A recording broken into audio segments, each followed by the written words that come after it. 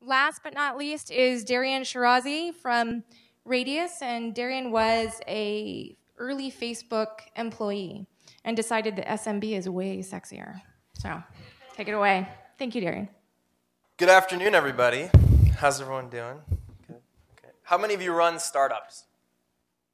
Wow, my favorite audience. I'm glad it's not a bunch of VCs. So, um, but I'd love to talk to you today about paid marketing and how paid marketing can make an unsexy business really sing. Um, I'm going to use a case study, which is Radius, the company I started a few years ago, and show you exactly some of the experiments we ran and how you can implement those experiments in your startup to really make paid marketing a channel to grow fast. So, a little bit about me. Um, first off, I'm the CEO and co founder of Radius. My other co founder is somewhere in here in the back, raising his hand. Cool. And uh, what we do is we provide software that helps sales and marketing teams target small businesses. We help you generate leads. We help you understand your customers. So if you sell to small businesses or market to small businesses, you should go to radius.com and sign up. Um, I was obviously early at Facebook. I worked at eBay. I'm an investor in a bunch of 500 startups companies like HomeJoy, MessageMe, Fresh, and Udemy. All these companies have done a lot of things like paid marketing that I'm going to talk about. And what we're really seeing is that paid marketing is the wave of the future. So, the theme of this talk is really that paid acquisition is a necessary evil for all SaaS companies. Anything in enterprise software, you have to do paid acquisition. If you're Marketo, for example, you basically operate at a loss. But the only thing investors and employees and people care about in enterprise software is growth. And so, how do we maximize growth? And a lot of enterprise software companies that I see come and pitch to me or that I analyze on the web or even us in the early days, they have graphs that look like this. And this graph is horrible. It's basically showing that you have a no growth business. The orange line is the total MRR that your business is bringing in each month. And the blue line is the number of organic leads that you're bringing in, either through content marketing or through PR or basically a non paid channel. Now, the challenge is depending on how good your product is, obviously, this graph can go for a lot longer. But there's always going to be churn in an enterprise software product. I haven't heard of an enterprise software product that doesn't experience some level of churn. So when you think about this, if you don't do any paid marketing, or if you don't do any sort of actually actual user acquisition, you're going to end up with a business that doesn't really grow because you're going to have flat MRR over time. Very rarely are there businesses that continue to grow or grow quickly. One is obviously Dropbox. GitHub is obviously a fantastic product. But most software as a service products need to do paid marketing. So two definitions here before we start. First is CAC, which is cost of acquiring a customer. I'm sure a lot of you know this. I just want to clear it up. And LTV, which is lifetime value of a customer. These are some of the acronyms I'm going to be using throughout the talk just to talk about how you can maximize your customer acquisition. So CAC and LTV are key performance metrics, I think, for any unsexy business. And the first thing is that CAC evaluates how good your marketing organization is. Are you efficient at acquiring users? Can you pay the least amount for acquiring a user? Is your marketing team optimizing landing pages? Are they optimizing your ad copy? Those are really some of the good questions.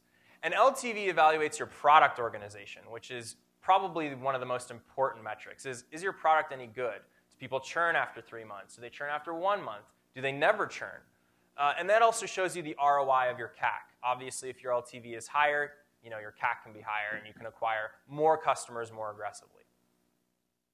So here's the case study, which is uh, Radius. So some of the things that we did this summer, because we only started doing paid marketing about two months ago. And the hypothesis is that you know we think our product is awesome. We actually think it's way better than our competitors. But you know we want to know which marketing channels are going to bring us a lot of customers. We can do PR. I can write as many Forbes columns until I'm blue in the face. I can write a guest post on TechCrunch and get free leads. But how can I make sure that we have a scalable, efficient way of acquiring customers and get many of them on a day by day basis? And so the first thing that we did is we looked at competitors or software companies in the space. So some of our top competitors are Sales Genie, which provides sales tools and leads. Dun & Bradstreet, which has been around since 1850, InfoFree, and, and we put up New Relic, which is sort of a new age SaaS company. And we used so- some software called SpyFu. There are a lot of companies that evaluate sort of cost of acquisition and AdWords. And we said, how much are these companies spending per day? What, what is their conversion rate? And estimating some of those things and figuring out what their CAC is. And we found the CAC is really high in our industry, which is fine if your product actually costs a lot of money. And our average you know, customer comes in and pays $250 a month. So in terms of Sales Genie, they're spending $1,000 to buy a customer, which is kind of a lot of money. So then what we did is we ran, run a bunch of experiments, and we said, okay, we're going to try to get our CAC in line with where everyone else who's a competitor is. And we ran some crazy ads, like one where on Facebook, which is, you are a boss, which has some dude with a cell phone. We actually had one which was like just some hot girl or whatever, which didn't really convert at all, but that was an idea our marketing guy had. Um, we even had, oh my God, sweet B2B marketing list, unlimited B2B list. We also had one that said, kill your quota in the first day, and that didn't really convert well either. But these are the ones that actually converted quite well, and we also went through about five iterations of uh, landing pages until we were satisfied with the conversion. Um, we had one that said, bursting with small business leads, explosive small business leads. We even took like different photos of different people and you know, tried different icons, lots of different things. And we had to do many, many iterations. And then what we did is we filled out numbers on, by channel. And this is something that you should do if you're doing the same analysis. We looked at how much are we spending per day on AdWords, on Bing, on Facebook, on Twitter, and organic, and compared all these CACs together to see which, where we ended up. And we found that our most expensive one, I'm obviously not going to share these numbers because they're confidential, but um, the, the, best, the most expensive was Google, but had the best conversion. Our customers that we found through Google were most, most likely to sign up for, for the product. People who came through Facebook were really cheap, but most of the time they just didn't really have money to spend. Um, and then Bing was a really good alternative to AdWords, but we didn't have as much volume as we did on Google. And Twitter was just fantastic for us. So, sorry, one more thing. So once you fill out all these numbers, you can sort of get a good sense of where you need to optimize. If you, you know, for example, don't have a very good close rate, then you know your sales organization isn't that good, or the leads are bad. If you, you know, have really bad click to lead, or if you, then you know your ad copy is bad. If you know that you have really bad lead to conversion, you know your landing page is bad. And you can sort of take this spreadsheet and break down each specific category to determine where your marketing organization is most effective. So, why do you need to try all the sources out there? We thought about, hey, let's just let's just do Google Ads, AdWords. Let's forget about all the other sources. And then we started started looking at that and saying, no, we really need to do a blended approach because there are other channels that are cheaper. There's channels like StumbleUpon where we actually acquire users from, and who knew that would be a good channel? And we also acquire users from Twitter. We acquire users from Twitter ad networks, and you know, if you blend all these together, you can actually reduce your CAC by a lot. The problem is, is that if you do one, unless it's Google, you won't have enough volume to convert customers fast enough to outpace your churn. So if your LTV exceeds your CAC by at least 30%, you have a great business. And oftentimes, businesses like Marketo, businesses that are, in, that are very unsexy, have really, really good percentage of LTV over CAC. And this is something that everybody looks for, whether you're hiring, whether you're raising money, or any of those things. You want to be absolutely positive that the LTV is outpacing your CAC. Because that you know you can continue to buy users all day long. And we all want to be in a situation where we can buy users all day long. So if you do this right, this is what the graph should look like. And this graph is actually quite fantastic. You'll see that organic and paid traffic sort of scales up nicely in a hockey stick format, and your total MRR scales up as well. Now, your organic and paid should outpace your total MRR at some point if you really get the numbers down, because your sales team is going to lag behind where the leads are. And that means you can continue to grow. So if you look at a company like Marketo, the organic and paid graph is very, very much so outpace the MRR graph. But that's okay because they're continuing to invest in growth in the business. So I urge you to all take that spreadsheet and plot your graph exactly like this, which is really nice. And you can see if you have a business that's like this, that you have a business that's growing, you have a SaaS product that actually has LTV outpace CAC. So what tools do you need to use in order to do this right? The first is you know, marketing lifecycle management. We use Act-On. I think HubSpot's a great solution. I think they all are good. It's really just you want to keep track of your leads. You want to make sure the leads that you're acquiring, you're nurturing, because you never know how long it's going to take a person to convert from an actual lead into an opportunity. We have leads that have been sitting in nurturing campaigns for four months, and then they eventually convert to a, real, to a paid user. The second is you want to have your landing page optimization tools really, really well ironed out. I think Optimizely is definitely the best one and the ringleader. We've seen huge amounts of value and lift out of Optimizely. Uh, do a lot of analytics. We use segment.io so we can try all the different tools that are out there. Um, we do remarketing campaigns, so users that we acquire in, we remarket to, so they see our ads on Facebook and elsewhere. So that's Google remarketing and perfect, perfect audience. If you do all these things well, you can, over a six to eight month period, really start to understand which paid marketing channels you need to optimize and which ones are really working well. So I've optimized to like crazy, but my CAC is still higher than my LTV. I can't seem to get paid marketing channels to work. Well, there's few things that really lead to this. One is that your ads are bad, they're targeting to the wrong verticals, and we had this problem. We were targeting to people that were looking for consumer lists, not B2B lists, so we changed a lot of our ad copy. Your product isn't at MVP, you aren't really ready to start doing paid acquisition, you'll find this out very quickly through paid channels. And paid channels can actually help you find out whether your product is good enough faster than just organic channels. Uh, sales issue, your sales team isn't good. They don't know how to talk on the phone about your product. They don't know how to actually close deals.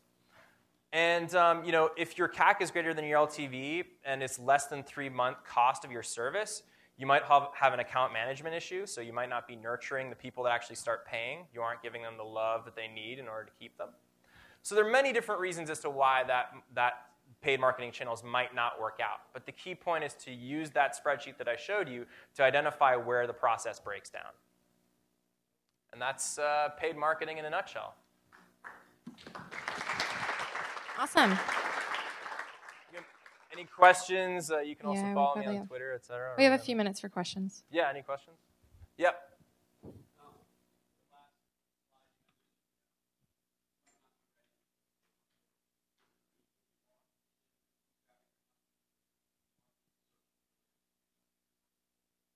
Um, I think that it's really important to start doing it early. I wish we had done it earlier.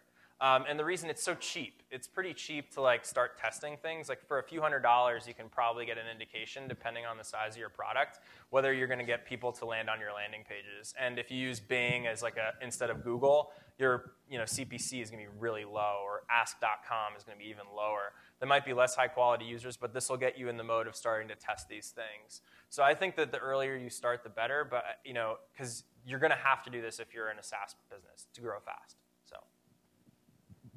Yep. One, one more. I'm sorry. Uh, sorry. uh, oh, sure, sure, yeah. Okay, yeah, go ahead.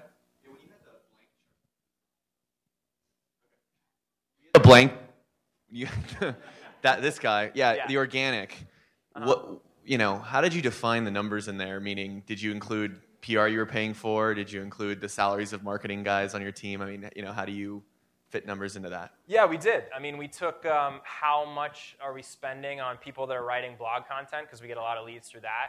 Um, we also looked at what are the costs of PR if we did have a PR firm. Um, maybe uh, you know you can quantify it somewhat, but the key point is that CAC is not as important on, on organic, but it's a good way to benchmark your conversion for other things. Most likely, your funnel on organic is going to look massive at the top and like very few conversions because it's a lot of people that are passersby. But at least you'll be able to know, hey, how much better is paid working than organic. Do it one more. Or? Yeah, sure. Any other questions? Sure. Yeah.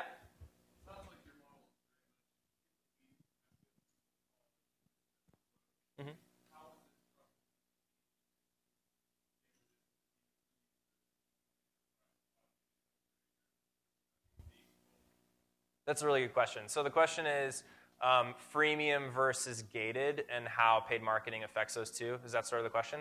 So um, we're actually switching from gated to paid to um, uh, self-provisioning next week, and the real reason for that is because we've figured out all these metrics.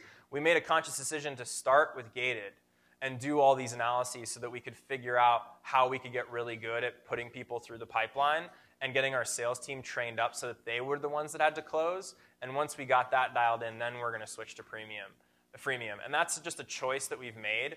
Um, I think that sort of decision you have to make. Now, one thing that's really nice about self-provisioned accounts is that your CAC probably goes through, really drops because you don't, you actually get people in the product. But then the second question ends up being um, you have to test all the conversion loops inside the product to get people to pay.